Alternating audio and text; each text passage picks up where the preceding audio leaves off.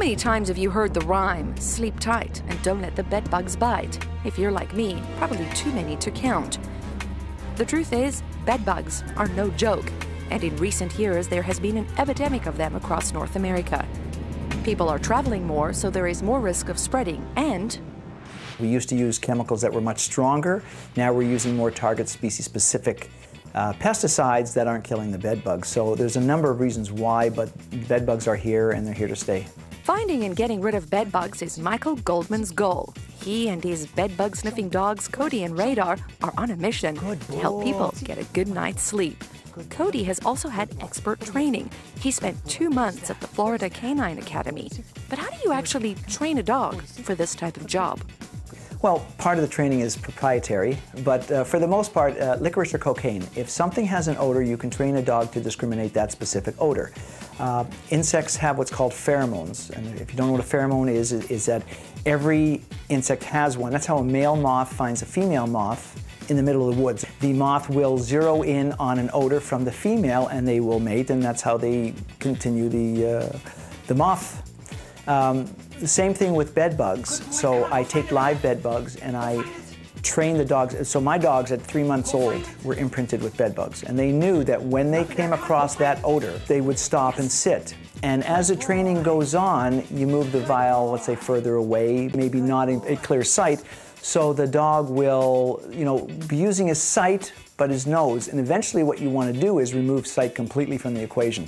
Kody and Michael have worked for property management companies, long-term healthcare facilities, and hotels. He says the problem is on the rise, so it's key that Kody and Radar know what to look for or in this case, smell for. Slowly, slowly. Here we go. Come on. So our, our dogs are trained on live bed bugs and viable eggs. And uh, unfortunately, bed bugs only feed on mammalian blood.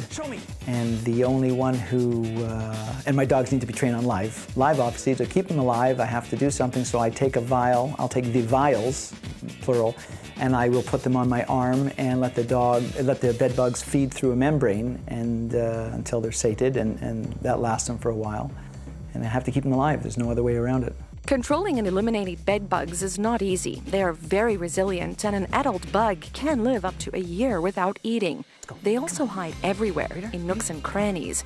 The eggs are almost always impossible to detect because they're the size of a grain of salt. The bugs are tiny too, about the size of an apple seed. To find these nasty little things, Goldman takes his dog through a building or a room. If Kody demonstrates an interesting behavior, it's pretty likely there are bedbugs present. Good boy. Did you find that? So I go through their bedroom and I say, ma'am, do you sleep on the right side of the bed? And she says, how do you know that?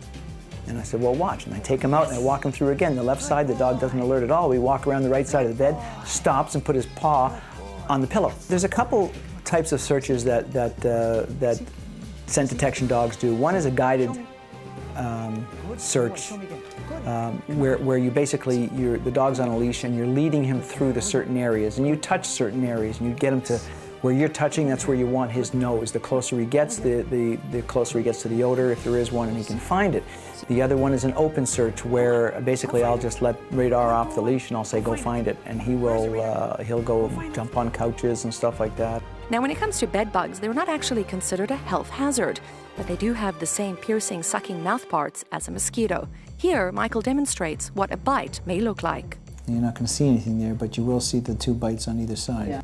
A lot of people don't react, and this is one of the problems that we're having in, let's say, multi-unit dwellings, apartment buildings, um, where uh, or, or uh, dormitories, where uh, someone is getting bitten but doesn't know about it, the infestation gets bigger and bigger and bigger, and until it's now it's a huge infestation. It's spreading to other units. People come over and visit, and now we're taking them back with them. This person's oblivious because normally they'll, they'll hide behind the headboard or the mattress or the box spring and come out at night to feed. Well, if you don't clean behind there on a regular basis, and how many of us really remove the headboard and clean behind the head of the bed? Bed bugs also reproduce rapidly. A female can lay 200 to 500 in her lifetime. There are other factors as well. As noted earlier, there has been an increase in international travel, and DDT, a powerful insecticide, is no longer legally available. The key is to be vigilant with cleaning and be aware of the things you pick up at garage sales or on the curb.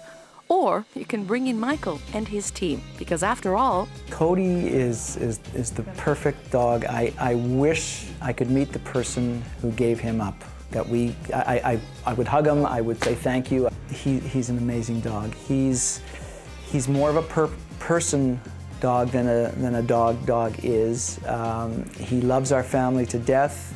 Uh, he's very, he's protective verbally. He's just, he's an amazing dog. He, he works well. He's, uh, children go up to him while we're doing inspections and, and, and he's so patient with them. He's just, he's the perfect dog. We really lucked out with him.